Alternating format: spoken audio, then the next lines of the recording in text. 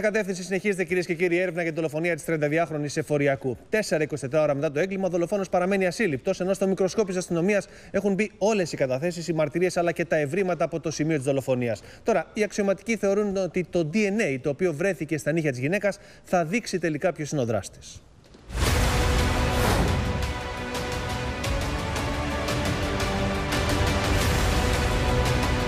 Σε τρία σημαντικά στοιχεία έχουν αναποθέσει τις ελπίδες τους για τη διελεύκανση της υπόθεσης οι αστυνομικοί. Αναζητούν το όπλο του φρικτού εγκλήματος, τα προσωπικά αντικείμενα της άτυχης δώρας, την τσάντα της, το πορτοφόλι της και το κινητό και το DNA του δολοφόνου. Χθες, άντρες της ασφάλειας έκαναν ξανά εξονυχιστική έρευνα σε όλη την περιοχή γύρω από το νεκροταφείο, ψάχνοντας στοιχεία που μπορούν να τους βοηθήσουν να εξηχνιάσουν την υπόθεση. Στα εγκληματολογικά εργαστήρια εξετάζονται και τα δείγματα από ιστούς που βρέθηκαν στα νύχια της 32χρονης. Τα αποτελέσματα του DNA είναι αυτά που θα δείξουν το δράστη. Οι αστυνομικοί εξετάζουν και το ταξί του πατέρα της άτυχης κοπέλας, στο οποίο σύμφωνα με τη μαρτυρία του επιβιβάστηκε ο άγνωστος άνδρας από την οδό Ηρακλείου. Ηρακλείου έξω από το νεκροταφείο πήρε έναν τύπο γύρω στα 30 με 35. Ήταν αλαφιασμένος αυτός ο τύπος και μου λέει λάθος κουζέ. Δεν ξέρω αν είχε σχέση ο άνθρωπος, αλλά μπήκε μέσα στο αμάξι, ήταν αλαφιασμένος. Δεν, δεν μου φάνηκε νορμάλ. Ναι, άμα τον εδώ θα τον γνωρίσω με κοντό μαλλί ήταν περίπου στο 1,75.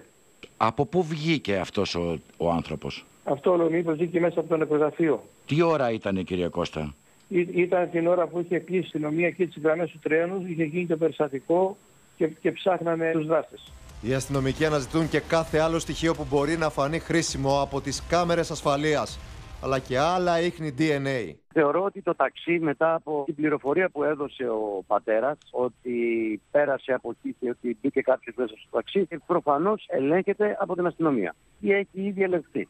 Θεωρώ ότι το πιο κρίσιμο στοιχείο θα είναι όταν ε, θα υπάρχουν αποτελέσματα από βιολογικό υλικό, από την κοπέλα καταρχήν, και από εκεί και μετά θα μπορούμε να διαπιστώσουμε και να μάθουμε και να καταλάβουμε όλοι μας πολλά πράγματα.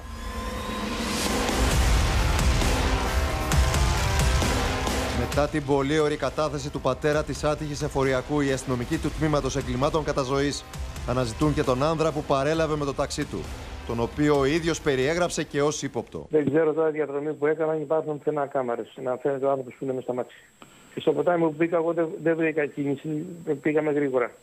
Το ποτάμι μέχρι, ε, μέχρι τη Πανάρη εκεί που πήγα, μπήκα αριστερά Δυραχείου ήταν, ήταν σύντομη η διαδρομή, δεν είχε κίνηση. Και από Δυραχείου στη Δράμα και τον άφησα ε, δρά, Δράμα, μπήκα περίπου ε, 300 μέτρα μέσα στη γωνία και μου λέει το πιο κάτω μέρος θα πάω με τα πόδια. Λέω άσε να σε πάω. Όχι, μου λέει τράβα θεία για να βγεις, μου λέει Λέρμαν. Εγώ θα πάω με τα πόδια. Όπως ο ίδιος ανέφερε, μέρες μετά αναρωτήθηκε ότι αυτός ο άνδρας μπορεί να είχε κάποια σχέση με το έγκλημα. Ο Θεός μου πήγε το μυαλό εκεί. Λέω λες αυτός θα μου έχει σκοτώσει το παιδί. Και με έκανε ο, η γρηγοράδα που πήγε στο αμάξι. Μου έλεγε πάμε, πάμε. Ε, λέω λες να ήταν αυτός, ήθελα να φύγει από το χώρο. Πολύ κοντά στην είσοδο, κύριε Κώστα, αυτό. Η κεντρική είσοδο μπροστά. Ε, Βγαίνοντας αριστεράς από την κεντρική είσοδο, λίγο πιο μέσα από την Ηρακλείου. Και αναγκάστηκα και έφυγα εγώ ευθεία από την είσοδο που αναγκαστικά πρέπει να φύγω αριστερά από Ηρακλείου. Αλλά ήταν λίγο πιο κάτω προς την πόρτα του νεκροταφείου και τον πήρα από εκεί. Η αδελφή του πατέρα της άτυχης δώρας μίλησε στον Α εκφράζοντας τους προβληματισμούς της. Το μυαλό μου στην πρώτη φορά, να σας πω, και τρελάθηκα, πήγε ότι μπορώ να καθαρίσω το παιδί από την πλευρά του αδερφού μου που χρωστάει σε όλο τον κόσμο.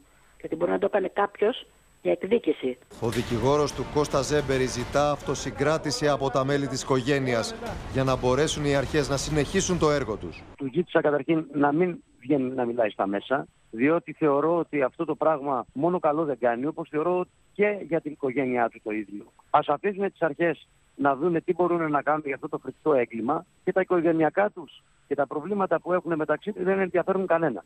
Απορώ με όλους, και με τον πατέρα και με τη μητέρα και με την οικογένεια.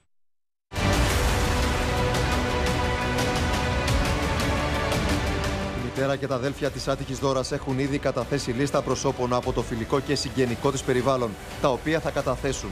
Αναζητούν ένα στοιχείο που μπορεί να τους οδηγήσει στα ίχνη του δολοφόνου. Είμαι χαμένη. Δεν μπορώ να ζήσω. Έχω τρία παιδιά. Ζω μόνο για να βρω το δολοφόνο της δώρας. Όλοι οι μάρτυρες είναι πάντοτε ύποπτοι, έτσι. Όσοι καταθέτουν ως μάρτυρες, ύποπτοι είναι. Ε, το αντιλαμβάνεστε. Αυτό, αυτό το λέει και η αστυνομία. Όποιος γνωρίζει, αν γνωρίζει κάτι, να προσφύγει στην ασφάλεια ε, και αμέσως να σπεύσει να καταθέσει. Γι' αυτό με βλέπετε δυσφακτικό. Θα μπορούσα να σας πω πολλά περισσότερα πράγματα, αλλά περιμένω να δω τα αποτελέσματα. Δεν ξέρω και εγώ τι έχει συμβεί. Άλλοι συγγενείς από την πλευρά του πατέρα της Δώρας μας είπαν. Βοηθούσε το παιδάκι, τώρα τι να τα λέμε. Βοηθούσε πάρα πολύ. Δεν ξέρω. Η Δώρα βοηθούσε τον πατέρα της. Πάντα βοηθούσε το παιδάκι. Θα σου είχε πο- πει ποτέ η Δώρα ότι εγώ πήρα δάνειο, μου ζήτησε ο μπαμπάς για τα χρέη Και του; είχε ακουστεί από την ίδια την οικογένεια. Ότι πήρε Ναι, το αυτό. παιδί δάνειο για τον πατέρα του; Ναι, και το ξεπήρωνε το παιδί. Το ήξερε αυτό η μητέρα; Όλοι το ξέρανε. Μετά νομίζω το μαθητέρα. Ρωτάμε τον πρώτο ξάδελφο του πατέρα της 32χρονης τι του είχε πει για την κούρσα με τον ύποπτο άνδρα του νεκροταφείου. Ε, πήγα στην Αθήνα. Εγώ πήγα την Παρασκευή πήγα. Τι ε, Ακούσατε χθες που είπε ότι την ώρα, αυτό το ξέρω. την ώρα του εγκλήματος ήταν εκεί κοντά στα μνήματα. Αυτό το ξέρω. Δεν σας το είχε πει; Εγώ δεν το ξέρω. Οι αστυνομικοί συλλέγουν μαρτυρίες και για τυχόν άλλες επιθέσεις στην περιοχή του δεύτερου νεκροταφείου και στο γειτονικό σταθμό του ηλεκτρικού με σκοπό τη ληστεία.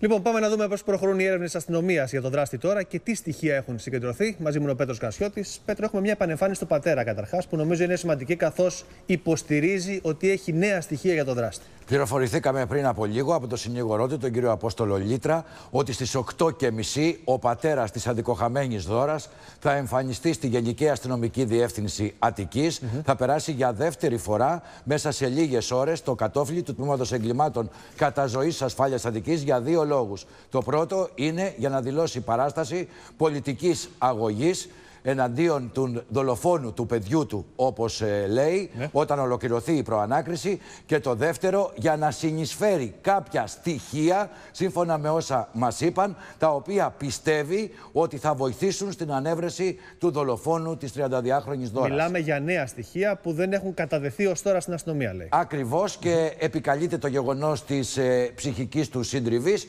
ότι δεν μπορούσε να τα θυμηθεί όλα αυτά, ότι τα ανακτά στο μυαλό του σιγά σιγά και ότι θέλει να βοηθήσει την ε, αστυνομία η οποία, η- όπου οι αστυνομικοί της ασφάλειας να σου πω χθες, καθώς έχουν όλους τους μάρτυρες όσους έχουν εξετάσει έως τώρα στο κάδρο του ζήτησαν και έδωσε πολύ ευχάριστα, πολύ ε, α- άμεσα ε, DNA, μάλιστα μέσα από το εσωτερική πλευρά του μάγουλού του. Υπάρχει το DNA του πατέρα. Προφανώς, φαντάζομαι, υπάρχει και DNA και των υπόλοιπων συγγενών. Πολλά ποντάρουν στο DNA οι αστυνομικοί. Ακούμε ότι περιμένουν τα αποτελέσματά του. σω αυτό ρίξει φως στην υπόθεση. Συνεχίζεται όμως η μάχη στα εγκληματολογικά εργαστήρια για να βγάλουν και από τα αντικείμενα τα οποία θυμάστε ότι είχαμε πει και για από τσίγαρα τα οποία μπορεί να κάπνιζε ο δολοφόνος ή από οποιοδήποτε άλλο σημείο και από την πάλη, ιδιαίτερα από τα νύχια της. Γίνεται πολύ προσεκτική ανάλυση, γι' αυτό δεν έχουν φτάσει ακόμη τα αποτελέσματα. Θέλω να σου πω ότι υπάρχει ένα συγκλονιστικό στοιχείο που έρχεται στο φως της δημοσιότητας για το πώς ξεκίνησε η συμπλοκή, ε, η συμπλοκή μάλιστα, μάλλον η επίθεση κατά της ε, δώρας εκείνο το μοιραίο απόγευμα της περασμένης Τετάρτης. Ναι. Σύμφωνα λοιπόν με τις πληροφορίες αυτές, η κοπέλα, η άτυχη κοπέλα, βρέθηκε πρόσωπο με πρόσωπο με το δολοφόνο της. Πιθανότατα έχει μιλήσει. Γιατί; Ο ιατροδικαστής ενημέρωσε την αστυνομία, την ασφάλεια Αττικής, ότι οι πρώτες, τα πρώτα χτυπήματα με εκείνο το μαχαίρι εδόθηκαν στο πρόσωπο και στο θώρακα. Στη συνέχεια άρχισε να τρέχει το κορίτσι, όπως ήταν φυσικό, και εκεί δόθηκαν χτυπήματα τα οποία είναι ελαφρά, Θες να πεις αλλά δηλαδή όταν ότι έπεσε... στεκόταν μπροστά της και απέναντί της ο Ακριβώς. δολοφόνος πριν δώσει το Ακριβώς. πρώτο χτύπημα. Το έδωσε Αυτό- από αυτή τη θέση. Αυτό μπορεί να σημαίνει για την αστυνομία ότι τον γνώριζε τελικά;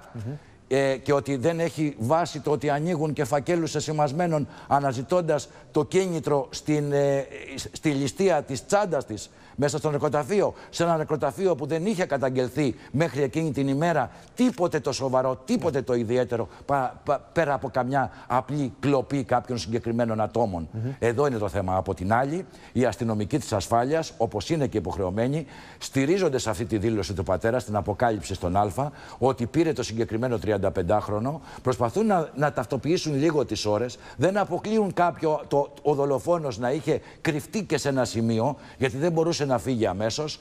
Ε, ότι, και, και ό- όπως τον πήγε στο λόφος Κουζέ, ακολουθούν τη διαδρομή οι ίδιοι με τα δικά τους αυτοκίνητα, βλέπουν από τα βίντεο τις ε, κάμερες, προσπαθούν να τον δουν μέσα, δεν γνωρίζουμε ακόμη το αποτέλεσμα και ειδικά εκεί που τον Φαντάζει άφησε. απίστευτο για να μην πω σενάριο ταινίας. Δεν ξέρω ποτέ αν μπορεί να, να, να φτάσουμε σε κάτι τέτοιο. Ο πατέρας να πήρε από παιχνίδι της μοίρας το δολοφόνο του παιδιού του ως ταξιτζής και να τον πήγε κάπου. Δεν ξέρω πραγματικά. Το εξετάζουν ακόμη και αυτό λες. Οι Η, δο- αστυνομικοί μένουν η αυτό, δολοφονία έγινε στις 5.30 το απόγευμα της Τετάρτης. Ο ίδιος είχε πάρει το ταξί στις 5 παρατέταρτο εκείνο το απόγευμα από τον συνάδελφό του. Έκανε μια διαδρομή, βρέθηκε εκεί, δούλευε μου είπαν Παραμένει και Πέτρο μου, αστυνομικοί της παραμένει ασφάλειας Πέτρο εκεί μου, κοντά. αυτό το οποίο λέμε μέρες τώρα. Όλα Ακριβώς. τα ενδεχόμενα ανοιχτά. Σε ευχαριστώ πολύ. Αλλάζουμε θέμα κυρίες και